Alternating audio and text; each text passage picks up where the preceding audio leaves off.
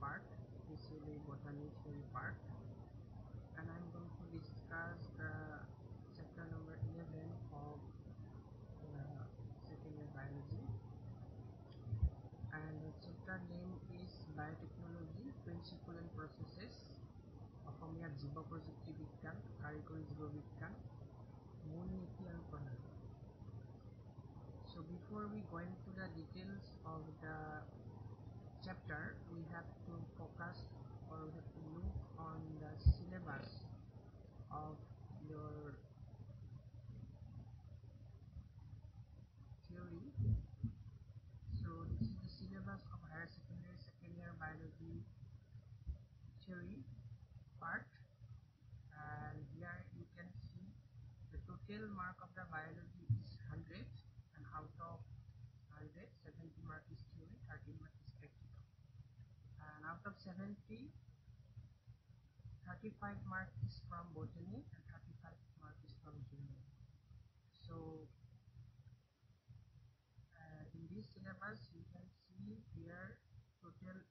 17 chapters and all chapters are categorized in some units. So unit 6 7 8 9 10 so from the unit 9 so i will i would like to discuss about the biotechnology application that is chapter 11 12 so why i'm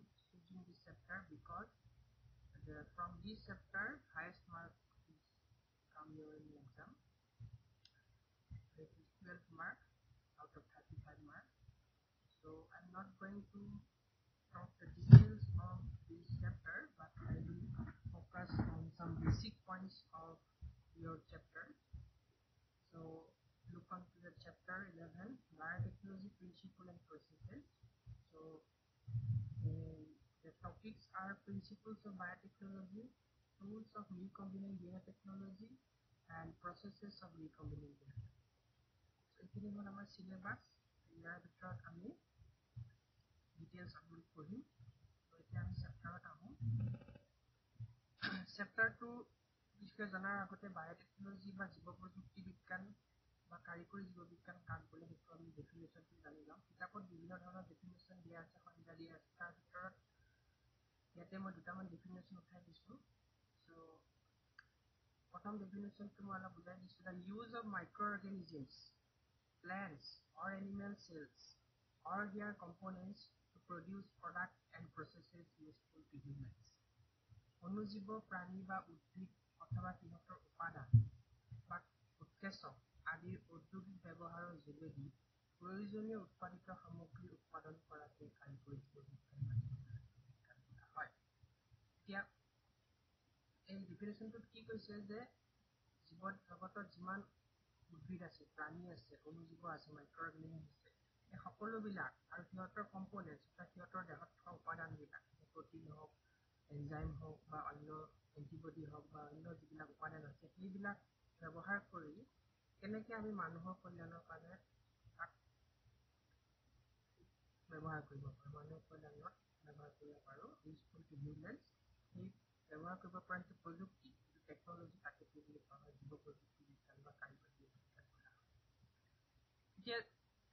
বায়'টেকনলজিৰ বিভিন্ন ধৰণৰ definition আছে তাৰ ভিতৰত এটা standard definition আছে সেই standard ডেফিনেশ্যনটো European federation of biotechnology নামৰ এটা সংস্থা আন্তৰ্জাতিক সংস্থা ইণ্টাৰনেশ্যনেল অৰ্গেনাইজেশ্যন তেওঁলোকে দিছে সেইটো কিতাপতো আছে the definition given by E F B means European Federation of Biotechnology is as follow' integration of natural science and organisms, cells, parts thereof, and molecular analogs for products and services. ইফ F বিৰ সংজ্ঞা মতে জীৱ কাৰিকৰী বিজ্ঞান হৈছে প্ৰাকৃতিক বিজ্ঞান জীৱ আৰু জীৱ কোষ অংগ আৰু সমসংস্থাবোৰৰ উৎপাদন আৰু মানৱ সেৱাৰ বাবে কৰা হ'ব। অৰ্থাৎ তেওঁলোকে যিটো সংজ্ঞা দিছে সেইমতে কি? যে প্ৰাকৃতিক বিজ্ঞান বা নেচাৰেল চায়েন্স নেচাৰেল চায়েন্স বুলি ক'লে physics chemistry mathematics environmental science geography statistics এই গোটেইবিলাক আৰু বায়'লজিকেল চায়েন্স অৰ্থাৎ জীৱ কোষ অংগ আৰু সমসংস্থা সমসংস্থা মানে মলিক এনালগ দেখাত মানে একেই হয় এইবিলাকক বুলি কোৱা হয়। সেইবিলাকৰ উৎপাদন আৰু মানৱ সেৱাৰ বাবে কৰা হয় সেইবিলাক কেনেকৈ প্ৰডাক্ট প্ৰডিউচ কৰিব পাৰোঁ molecular analyse for and services এনেকৈ আমি সেইবিলাক ব্যৱহাৰ কৰিব পাৰোঁ। তাৰপিছত আহিলোঁ এতিয়া বায়'টেকনলজি যিহেতু এটা এডভান্স ছাবজেক্ট হয় নতুন ছাবজেক্ট হয় এই ছাবজেক্টটো আকৌ বায়'লজিৰ বিভিন্ন ধৰণৰ ক্লাছিকেল ছাবজেক্ট অৰ্থাৎ পুৰণা ছাবজেক্ট যিবিলাক আছে আদিম যুগৰ পৰা চলি আছে সেইবিলাক ছাবজেক্টৰ ওপৰত বেছ কৰি চলি আছে বায়'লজিৰ বিভিন্ন বিভাগ আছে ভাগ আছে সেই ভাগবিলাকৰ ওপৰত বেছ কৰি কেনে নিৰ্ভৰ কৰি কেনে আগবাঢ়িছে এতিয়া কি কৈছে যে by development of biotechnology is based on genetics biochemistry microbiology cell biology molecular biology and genetics কাৰিকৰী জীৱবিজ্ঞানৰ উন্নতি হৈছে বংশগতিবিদ্যা জেনেটিক্স জীৱ ৰসায়ন বিদ্যা অনুজীৱ বিজ্ঞান পোক জীৱ বিজ্ঞান আণৱিক জীৱ বিজ্ঞান আৰু জিনীয় অভিযন্ত্ৰণ আদি আধুনিক জ্ঞানৰ এইবিলাক হ'ল বায়'লজিৰ কিছুমান ভাগ কিছুমান চাব এইবিলাকৰ ওপৰত ডিপেণ্ড কৰি বায়'টেকনলজিটো আগবাঢ়িছে ইয়াৰ ভিতৰত বায়'কেমিষ্ট্ৰি চেল বায়'লজি বা পোক জীৱ বিজ্ঞান এইবিলাক মই ফাৰ্ষ্ট ইয়াৰত পঢ়ি আহিছে। তাৰোপৰি জুলজিত ছেকেণ্ড ইয়াৰত জেনেটিক্স পাবা। মলিকুলাৰ বায়'লজি অলপমান পাবা আৰু জেনেটিক ইঞ্জিনিয়াৰিংটো বায়'টেকনলজিতে অলপমান পাবা। এই গোটেইকেইটা চায়েন্সৰ ভিতৰত জেনেটিক ইঞ্জিনিয়াৰিংটো বেছি ইম্পৰ্টেণ্ট হয় অসমীয়াত জিনীয় অভিযন্ত্ৰণ বুলি কোৱা হয়। এই জিনীয় অভিযন্ত্ৰণৰ ডেফিনেশ্যনটো এতিয়া দিয়া আছে বিভিন্ন ধৰণৰ ডেফিনেশ্যন আছে তাৰ ভিতৰত মই এটা সৰল ডেফিনেশ্যন এটা দি দিছোঁ। Genetic engineering is a phenomenon in which the chemical nature of genetic material, that is DNA or RNA, is modified to introduces into another organism, changing the phenotypic characters of an organism.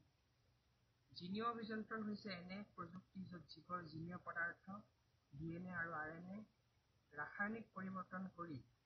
সেই সুখক জীৱদেহত সংস্থাপন কৰা হয় আৰু ফলত ব্যক্তৰ ৰূপৰ পৰিৱৰ্তন হয় এতিয়া আমি জানো যে প্ৰত্যেকটা জীৱৰে দুটা ৰূপ থাকে এটা হ'ল জনুৰূপ এটা হ'ল ব্যক্তৰ ৰূপ জনুৰূপ মানে কি? এটা মানুহ বা এটা প্ৰাণী বা এটা উদ্ভিদৰ দেহত যিমানখিনি জিন থাকে যিমানখিনি ডি এন এ থাকে সেই ডি এন এখিনিক একেলগে আমি জিনীয় ৰূপ বা জিন'টাইপ বুলি কোৱা ইংলিছত আৰু জিন'টাইপ মানে genetic material D N A বা আৰ এন এ আৰু ভেক্টৰ ৰূপ মানে হ'ল ফিজিকেল এপিয়াৰেঞ্চ দেখাত বাহ্যিক যিটো ৰূপ হয় দেখাত মই কেনেকুৱা হয় বাহিৰৰ পৰা। সেই বাহিৰৰ বাহ্যিক ৰূপটোক ভেক্টৰ ৰূপ বুলি কোৱা হয় ইংলিছত ফিন'টাইপিক ফিন'টাইপ বুলি কোৱা হয়। ফিন'টাইপিক কেৰেক্টাৰ বাহ্যিক চৰিত্ৰ বুলি কোৱা হয়। এতিয়া জিনীয় অভিযন্ত্ৰণ এনেকুৱা এনেকুৱা প্ৰযুক্তি এতিয়া জিন'টাইপ আৰু ফিন'টাইপৰ বিষয়ে তোমালোকে জেনেটিক্সত পঢ়িব পাবা জুলজিত মই ডিটেইলছত নকওঁ। এতিয়া মই ডেফিনেশ্যনটোত বুজাই দিছোঁ যে জিনীয় অভিযন্ত্ৰণ হৈছে এনে প্ৰযুক্তি য'ত জীৱৰ জিনীয় পদাৰ্থ ডি এন এ আৰু আৰ এন এৰ জীৱ ৰাসায়নিক পৰিৱৰ্তন কৰি পোষক জীৱদেহ সংস্থাপন কৰা হয়। প্ৰত্যেক জীৱদেহতে জিনীয় পদাৰ্থ হিচাপে ডি এন এ বা আৰ এন এ থাকে। মষ্টলি ডি এন এ থাকে। কিছুমান ভাইৰাছৰ ক্ষেত্ৰত আৰ এন এ থাকে জিনীয় পদাৰ্থ জেনেটিক মেটেৰিয়েল হিচাপে থাকে। সেই জেনেটিক মেটেৰিয়েল বা ডি এন এটো যদি আমি চেঞ্জ কৰোঁ অলপমান দেখাত চেঞ্জ কৰি দিওঁ চিকুৱেঞ্চটো চেঞ্জ কৰি দিওঁ এই চিকুৱেঞ্চটো চেঞ্জ কৰি দিয়াৰ ফলত আমাৰ কি হ'ব বাহ্যিক ৰূপটোৰো পৰিৱৰ্তন ঘটিব অৰ্থাৎ ফিন'টাইপিক কেৰেক্টাৰটো আমাৰ চেঞ্জ হ'ব জিন'টাইপিক চেঞ্জ হ'লে সদায় ফিন'টাইপটো চেঞ্জ হয় কিন্তু কেতিয়াবা যদি জিন'টাইপ চেঞ্জ হ'লে কেতিয়াবা ফিন'টাইপ চেঞ্জ নহ'বও পাৰে কিন্তু জেনেৰেলি জিন'টাইপ চেঞ্জ হ'লে ফিন'টাইপ চেঞ্জ হয় আৰু ফিন'টাইপ চেঞ্জ হ'লে ফিন'টাইপিক চেঞ্জ হ'বই এতিয়া এইবিলাকৰ যেতিয়া ৰাসায়নিক পৰিৱৰ্তন কৰি কেনে বায়'কেমিকেল চেঞ্জ কৰি কেনে পোষক জীৱদেহ অৰ্থাৎ যিটো জীৱদেহত আমি মানে ট্ৰেন্সফাৰ কৰিব বিচাৰোঁ সেই যিটো জীৱদেহ পোষক জীৱদেহ বা হোষ্ট অৰ্গেনিজিম বুলি কোৱা আনাডাৰ অৰ্গেনিজিম বা হোষ্ট অৰ্গেনিজিমত ভৰাই দিয়া হয়। আৰু সেই হোষ্ট অৰ্গেনিজিমটো কি হয়? ভেক্টৰ ৰূপৰ পৰিৱৰ্তন হয়। তাৰ যিটো ফিন'টাইপিক কেৰেক্টাৰ আছে সেইটো চেঞ্জ হয়। ভেক্টৰ ৰূপটো পৰিৱৰ্তন হয়। এইখিনি হ'ল জেনেটিক ইঞ্জিনিয়াৰিঙৰ ডেফিনেশ্যন এতিয়া আহোঁ এইমছ অফ বায়'টেকনলজি জীৱ কাৰিকৰী বিজ্ঞানৰ মূল উদ্দেশ্য মূল উদ্দেশ্য বহুতকেইটা আছে তাৰ ভিতৰত ইয়াৰে কেইটামান মই দি দিছোঁ মেইন মেইন উদ্দেশ্যকেইটা প্ৰথমটো হ'ল to conserve map and sustainably use of available bioresearch প্ৰকৃতিত থকা জীৱ সম্পদৰ সংৰক্ষণ আৰু তাৰ ব্যৱহাৰ তাৰ বহনক্ষম ব্যৱহাৰ কৰা বহনক্ষম ব্যৱহাৰ মানে তোমালোকে এনভাইৰমেণ্টেল চায়েন্সত পাবা ছাষ্টেইনেবল ইউটিলাইজেশ্যন বহনক্ষম ব্যৱহাৰ তাৰমানে পৰিৱেশৰ বস্তুবিলাক পৰিৱেশত যিবিলাক জীৱ আছে জীৱ সম্পদ আছে বায়ু ৰিচৰ্চ আছে কাঠেই হওক বা অন্য প্ৰাণীয়ে হওক উদ্ভিদেই হওক সেইবিলাকৰ আমি প্ৰকৃতিৰ কোনো ধৰণৰ হাৰ্ম নোহোৱাকৈ প্ৰকৃতিৰ কোনো ধৰণৰ অনিষ্ট নোহোৱাকৈ যদি ব্যৱহাৰ কৰোঁ তাক কয় বহনক্ষম ব্যৱহাৰ। এইটো কয় sustainable available biology sustainable use আৰু টু কনজাৰ্ভ মেপ জীৱ সম্পদৰ সংৰক্ষণ কৰা। জীৱ সম্পদবিলাক আমি কনজাৰ্ভ কেনেকৈ কৰিব পাৰোঁ? আৰু কেনেকৈ তাক মানে আমি কোনো পৰিৱেশৰ ক্ষতি নোহোৱাকৈ প্ৰদূষণ নোহোৱাকৈ ব্যৱহাৰ কৰিব পাৰোঁ সেইটো এটা উদ্দেশ্য হয় বায়'টেকনলজি দ্বিতীয় উদ্দেশ্যটো কৈছে to create improve varieties of plants and animals through genetic manipulation of breeding and breeding জিনীয় সাল সলনি আৰু প্ৰজনন প্ৰযুক্তিৰ দ্বাৰা উন্নত প্ৰজাতিৰ উদ্ভিদৰ পাৰে সৃষ্টি কৰা। কিন্তু বিশেষকৈ এগ্ৰিকালচাৰ বায়'টেকনলজি বা ভেটেনাৰী বায়'টেকনলজিৰ উদ্দেশ্য হয়। ইয়াতে কি কৰা হয় যে জিনটো চেঞ্জ কৰি দিয়া হয়। নাইবা তাৰ প্ৰজনন প্ৰযুক্তিটো চেঞ্জ কৰি দি কেনে আমি উন্নত প্ৰজাতিৰ উদ্ভিদ ধৰা ধান হওক বা বিভিন্ন ধৰণৰ গাখীৰ উৎপাদন কৰা গৰু ম'হ এইবিলাক মানে সৃষ্টি কৰিবৰ কাৰণে কি কৰা হয় মানে এটা এইম লোৱা হয় তাৰপিছত কৈছে যে to develop various techniques and tools for diagnosis of diseases treatment surgery and organ বিভিন্ন ধৰণৰ মাৰাত্মক ৰোগ উপাচাৰ অস্ত্ৰোপচাৰ আৰু অংগ সমলোপন আদি নিৰূপণ কৰি নিৰূপণ কৰিবলৈ প্ৰযুক্তি আৰু পদ্ধতিৰ উদ্ভাৱন কৰা। এইটো হ'ল মেডিকেল বায়'টেকনলজি মেডিকেল বায়'টেকনলজিৰ এইমটো হ'ল কি যে বিভিন্ন ধৰণৰ বেমাৰ যিবিলাক আছে বেমাৰবিলাক কেনেকৈ ধৰা পেলাব পাৰে তাৰ কিছুমান টেকনিক আছে যিবিলাকক কয় diagnostic diagnostic how to detect or how to identify or disease causing organisms or disease cause call diagnosis কৰাতে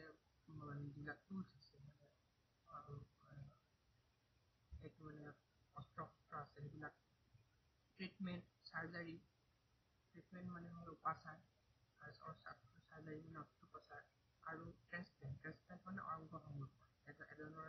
অংগ এজনৰ দেহত দিয়াত অংগ সংৰোপণ বা এইবিলাক কৰিবৰ কাৰণে নতুন নতুন প্ৰযুক্তি যিবিলাক আছে সেইবিলাক কৰা হয় তাৰপিছত আহি নেক্সট এইমটো কৈছে to reduce the impact of pollution by using sustainable biological processes of waste আৱৰ্জনা নিৰাময় যথোপযুক্ত জৈৱিক প্ৰক্ৰিয়াৰ দ্বাৰা প্ৰদূষণ পৰিৱেশত প্ৰদূষণৰ প্ৰভাৱ পৰিব গতিকে এতিয়া কি কৈছে যে এইটো হ'ল এনভাইৰমেণ্টেল বায়'টেকনলজিৰ এটা এইম এনভাইৰমেণ্টেল বায়'টেকনলজি এইমটো এনেকুৱা যে কেনেকৈ আমি যিবিলাক আৱৰ্জনা আছে সেইবিলাক নিৰাময় কৰি কেনে বায়'লজিকেল কিছুমান এতিয়া প্লাষ্টিক আছে মাইক্ৰ' অৰ্গেনিজিম বা বেক্টেৰিয়াবিলাকে সেইবিলাক ডাইজেষ্ট কৰি যিবিলাক এনেই পৰিৱেশত নষ্ট নহয় বা ডাইজেষ্ট নহয় বুলি নাযায় সেইবিলাক বেক্টেৰিয়াবিলাকে গ'লে সেই বেক্টেৰিয়াবিলাক কেনেকৈ উদ্ভাৱন কৰিব পাৰি তাৰ কাৰণে যিবিলাক প্ৰযুক্তি কৰা হয় সেইটোও এটা বায়'টেকনলজি তাৰপিছত আহিলোঁ to develop recombinant microorganisms through genetic engineering for beneficial use of agriculture and industries জিনীয় অভিযন্ত্ৰণৰ দ্বাৰা কৃষি আৰু উদ্যোগ খণ্ডৰ বাবে উপকাৰী পুনৰ গঠিত অনুজীৱৰ সৃষ্টি কৰে। এতিয়া আমি যিবিলাক ড্ৰাগ খাই থাকোঁ ইনচুলিনেই হওক বা অন্য পেনিচিলিন এই গোটেইবিলাক মানে মাইক্ৰ' অৰ্গেনিজিমৰ পৰা সৃষ্টি কৰা হয়। সেই মাইক্ৰ' অৰ্গেনিজবিলাকক ৰিকম্বিনেণ্ট মাইক্ৰ' অৰ্গেনিজিম বুলি কোৱা হয়। পুনৰ গঠিত অনুজীৱ সেই অনুজীৱবিলাকক পুনৰ গঠন কৰা হয়। গতিকে সেই ৰিকম্বিনেণ্ট মাইক্ৰ' অৰ্গেনিজিমবিলাকৰ দ্বাৰা কেনেকৈ কৃষি আৰু উদ্যোগ এগ্ৰিকালচাৰ আৰু ছেক্টৰত ছেক্টৰত কেনেকৈ আমি তাক ব্যৱহাৰ কৰিব পাৰোঁ সেইটো এটা এইম হ'ল ইণ্ডাষ্ট্ৰিয়েল বায়'টেকনলজি বা agriculture biotechnology mainly industrial biotechnology aim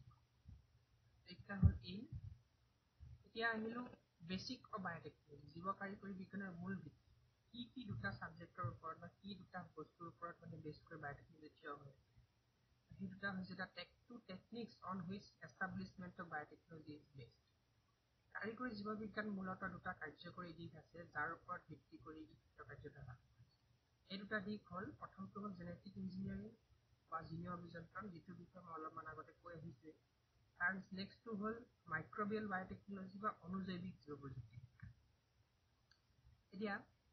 genetic ইঞ্জিনিয়াৰিঙৰ definition আগতে যিটো দিছোঁ সেইটো ইয়াতে দিয়া আছে অলপমান বেলেগকৈ দিয়া আছে। ইয়াতে কৈছে যে it can be defined as the science Dealing with the correction of nature's mistake at the level of hereditary unit the D N A and to improve the quality of organisms for specific purposes by implanting desired genes. It is also known as recombinant genetic জিনীয় অভিযন্ত্ৰণ ইয়াৰ সহায়ত জীৱৰ বংশগতি পদাৰ্থৰ ৰূপান্তৰ ঘটাই নতুন চৰিত্ৰৰ সমাৱেশ ঘটায় নতুন গুণসম্পন্ন জীৱৰ সৃষ্টি কৰা যাক ব্যৱহাৰ কৰি অতি উন্নমানৰ ৰাসায়নিক বস্তু ঔষধ কৃষিজাত বস্তু আদি অধিক পৰিমাণে উৎপাদন কৰিব পৰা যায় আৰু বংশগত ৰোগ নিৰ্মূলৰ উপায় গ্ৰহণ কৰিবলৈ সক্ষম ইয়াক পুনৰগঠিত ডিএনএ কৌশল বা ৰিকম্বিনেণ্ট ডিএনএ কৌশল বুলি এতিয়া আমি জানিলো যে ইয়াতে কি কৈছে যে ইয়াতে অন্য একো নহয় ইয়াতে কাৰেকশ্যন অফ নেচাৰ্ছ মিষ্টেক অৰ্থাৎ প্ৰকৃতিত যিবিলাক ভুল হৈছে আমাৰ ডি এন এটোক ডিজাইন কৰোঁতে ডি এন এটোত মিউটেশ্যন হৈছে বা অন্য কিবা পৰিৱৰ্তন হৈছে সেই ভুলবিলাক শুধৰাবৰ কাৰণে জিনটো চেঞ্জ কৰি কেনে কেনেকে আমি আমি জীৱটোৰ কোৱালিটিটো ইম্প্ৰুভ কৰিব পাৰোঁ। মানে তাৰ উৎপাদন কৰিব পৰা ক্ষমতা সৃষ্টি কৰিব পৰা ক্ষমতাটো কেনেকে আমি তাত মানে বঢ়াব পাৰোঁ সেইটোকে কি বুলি কোৱা হয়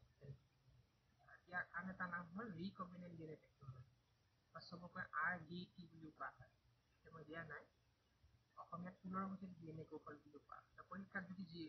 এন এ টেকনলজি কাক বুলি আহে তেনেহ'লে জেনেটিক ডেফিনেশ্যনটো লিখিব এতিয়া আহিলো মাইক্ৰবিয়েল বায়'টেকনলজি অসমীয়াত অনুজৈৱিক জীৱ প্ৰযুক্তি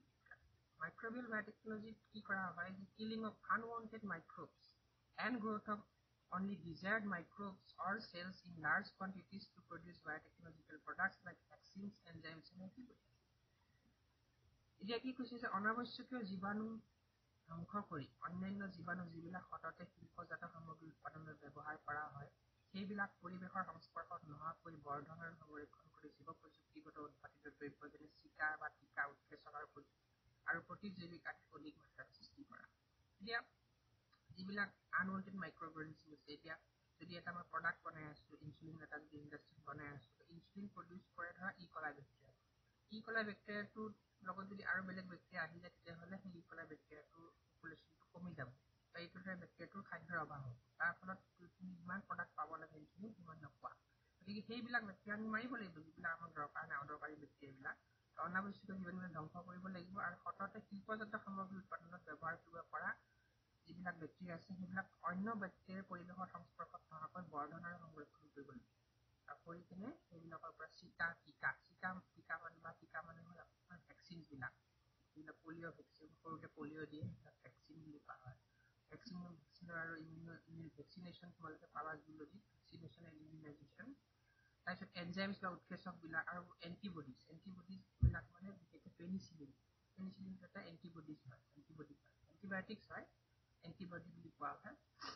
প্ৰতিজৈৱিক এইবিলাক আচলতে এণ্টিবডিজ নহয় এইটো এণ্টিবায়'টিক্স হ'ব এণ্টিবায়'টিক্স মানে প্ৰতিজৈৱিক সেইবিলাক সৃষ্টি কৰাৰ কাৰণে মাইক্ৰ'বিলাক ইউজ কৰা হয় হ'ল মাইক্ৰ'বিয়েল বায়'টেকনলজি গতিকে আজিলৈ এইখিনিয়ে